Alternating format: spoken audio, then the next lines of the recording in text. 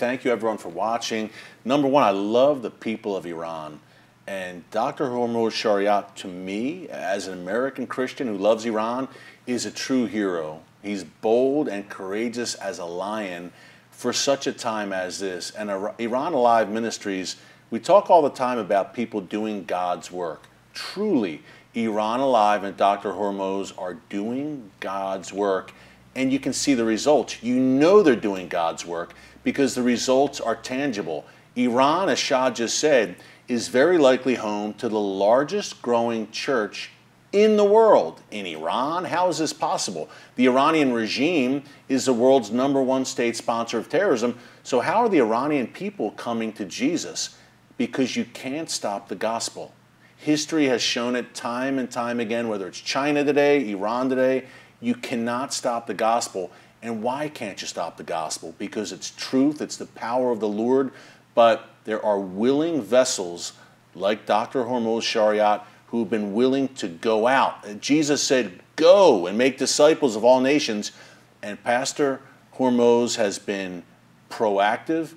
He has been an obedient servant to the Lord your God. And he is fulfilling that mandate that God has given him. And this ministry, Iran Alive Ministries, you want to see the gospel spread throughout Iran. You want to see Iran step into its biblical destiny because Iran has a great destiny. Persia, the mightiest empire in the world at one time, and how mighty it would be this time around in these last days of history where it's an empire founded on Jesus.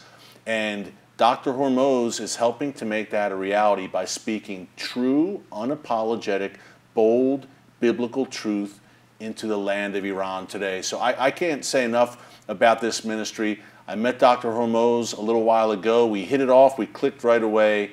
And I, again, I've admired him for years. And I want you to know, in America, in the Christian community here in particular, we love and honor and respect Dr. Hormoz Shariat.